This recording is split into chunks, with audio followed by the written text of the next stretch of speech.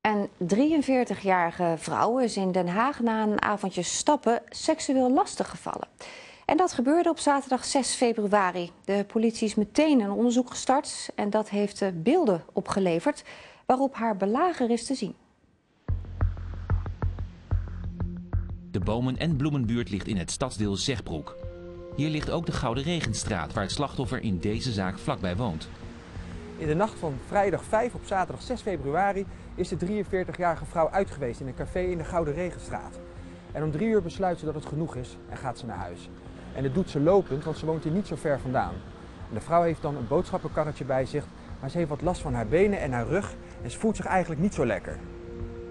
Ze loopt door de poort onder de huizen door en gaat via het Klimophof en de Klimopstraat naar de Magnoliastraat.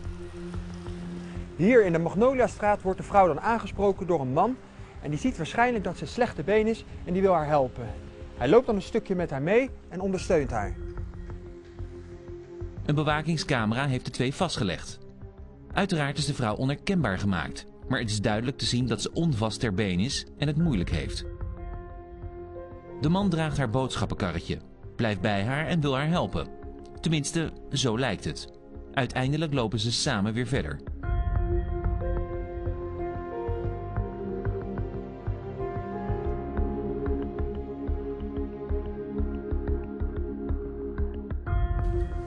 En dan komen ze aan bij het portiek van de vrouw.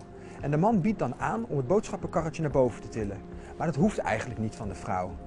Nou, toch blijft hij aandringen en dan plotseling begint hij haar te betasten en aan haar te zitten. En de vrouw begint dan luid te roepen, maar niemand hoort haar, want de bewoners liggen op dat moment te slapen. En plotseling laat hij de vrouw los en gaat haar vandoor en laat haar hier achter in het portiek.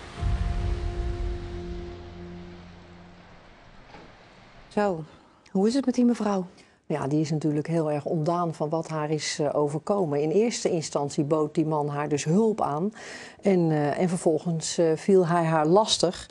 Ze is heel erg geschrokken daardoor, maar ze is er ook wel heel erg boos om. Ja, kan ik me voorstellen. Het was midden in de nacht. Het was stil op straat. Die mevrouw is moeilijk ter been. die man die heeft echt gebruik gemaakt van haar kwetsbaarheid. Ja, dat heeft hij zeker gedaan. Hij zag haar natuurlijk ja, als een hele makkelijke prooi. Ja, en uh, mede daarom nemen we die zaak ook heel hoog op. Ja.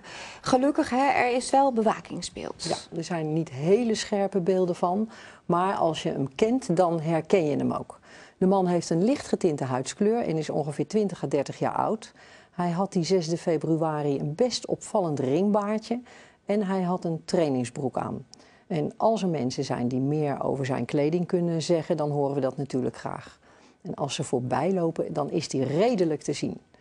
En een paar minuten later, dan rent hij hard weg. Mevrouw uh, was die avond in een café geweest. Kan het nu zo zijn dat ze misschien vanaf het café al uh, gevolgd is door die man? Ja, dat zou kunnen. We sluiten natuurlijk uh, niets uit. Misschien zijn er mensen die daar iets van hebben gezien. Of mensen die die man al eerder hebben gezien in de omgeving van de Gouden Regenstraat, de Klimopstraat of de Magnoliastraat. En dat willen we natuurlijk heel graag weten. Ja.